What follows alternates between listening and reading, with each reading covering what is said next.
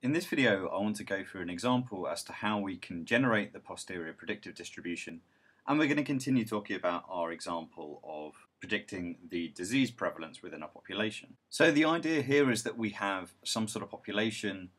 and what we've done originally is we've taken a sample from that population and within that sample there are a given number of individuals, X, out of a possible number of N, who actually have the disease. And that has allowed us to make some sort of prediction as to the likely values of theta, the proportion of individuals in the population which actually have the disease. Now what we're interested in is we have taken a second sample from that population, call it n primed,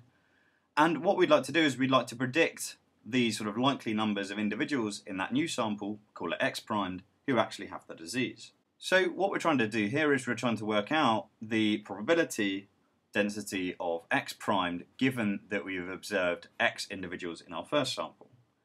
And we know from before that this is just equal to the integral from 0 to 1 of the joint probability of x primed and theta, which we know we can rewrite in terms of the probability of x primed given theta. And there's no conditioning on x here because once we condition on theta, x and x primed are independent on one another. So it's the likelihood times the probability of theta given x, which is just from before we recognise this second part here of our expression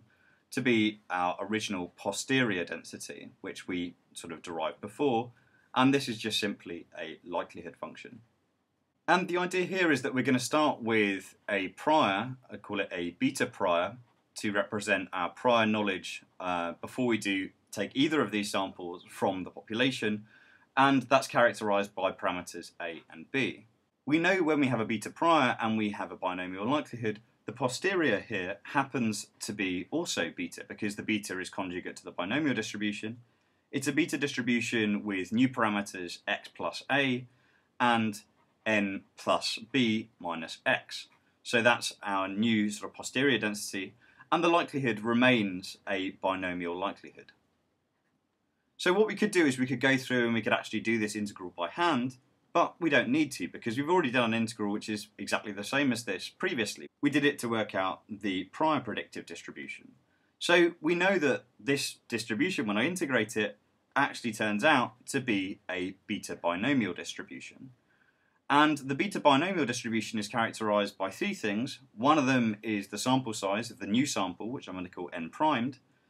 and it's characterized by the A's of the beta distribution, or sorry, the A and the B of the beta distribution which is being integrated over. And that's given here by A primed and B primed, which are these two new sort of parameters of our posterior beta distribution. So the, the sort of second argument, the A of the beta binomial distribution is just simply x plus A, and the third argument for sort of B is m plus B minus x. So this is our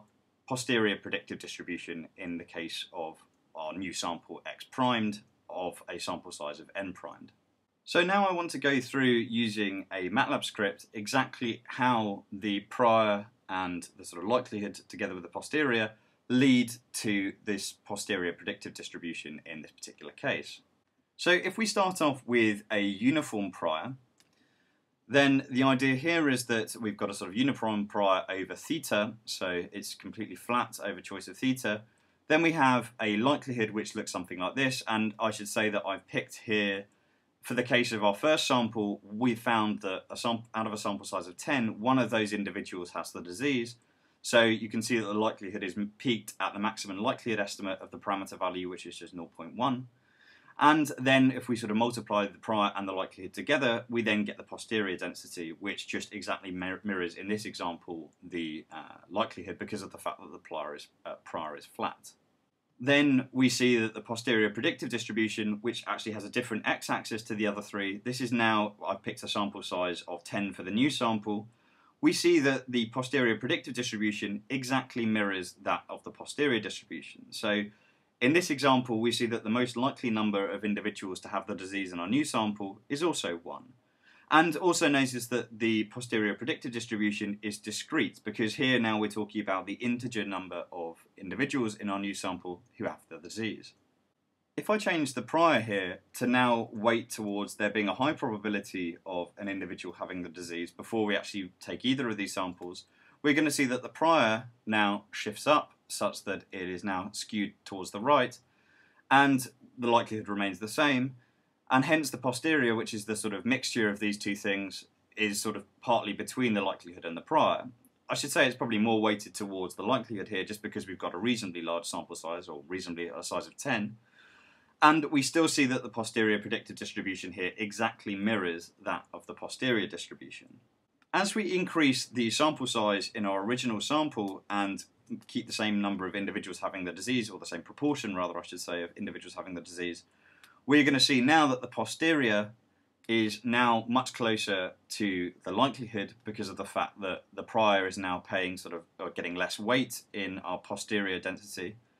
and the posterior predictive distribution still is kind of exactly mirroring that which we see in our posterior distribution. Then finally, if I increase my sample size in my new sample to 100, so we're now predicting the number of people out of 100, we will now expect to see that this is going to mirror it a lot more closely because of the fact that you know we're not dealing with integers which are so sort of wide apart at the point at which the posterior distribution is actually changing that much. So I hope that that's given you some insight into how the posterior predictive distribution works.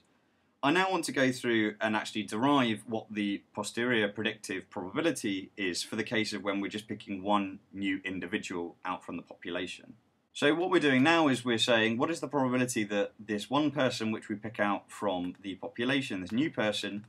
actually has the disease given that we've observed the sort of number x from our first sample that actually have the disease. In this example, we know that because we're just picking one individual out from our population, that the likelihood in that example is just theta because, you know, if they have the disease, the likelihood of them having the disease is just theta, and hence the integral just becomes the integral of theta times the probability of theta given x, in other words the posterior, across theta. And this looks exactly like something which we would have seen before, it's just equivalent to the expected value of theta given that we've observed the data x because we've just got an integral of, of the sort of value which we're taking the expectation of times the probability density. And furthermore, because we know that this probability density here is actually a beta distribution, we already know from a beta distribution that the expected value of theta, if I write it up here, the expected value of theta given x, if we're talking about a distribution that's got parameters a and b, is equal to a over a plus b. But here, because a and b are, are sort of new values, a primed and b primed, if you see here x plus a and m plus b minus x, we have to use those values in our expectation. So what we have now is we have our sort of new a, which is just x plus a, divided through by a primed plus b primed, which is just a plus b plus n. And in the example where we have a flat prior, so we have a equal to b, which is equal to 1, we then see that this actually becomes x plus 1 over n plus 2. And now it's very easy to see exactly how the data influences our sort of predictive probability, our posterior predictive probability rather. As x, the number of individuals in our sample, increases who have the disease, holding n constant, then you can see that the probability increases. As n increases holding x fixed, then essentially that's a smaller proportion of individuals in our sample having the disease, and hence our predictive probability for a new person having being drawn from the population having the disease actually declines. So it makes a lot of intuitive sense. If you go back up to this expression here, you see that the prior parameters a and b can actually influence the predictive probability quite strongly, especially if we have a low sample size. So that's just something to be a little bit careful of as you increase B here, you can see that essentially you're weighting the distribution more towards actually having a relatively low probability of having the disease because that's what is reflected when you actually choose a high B in your prior beta distribution. And A has the other effect. So as you increase A, then it weights the distribution more towards a high probability of that new person having the disease. But when n increases, you can see that the effect which a and b have actually becomes quite small because these are likely quite small numbers when compared to n.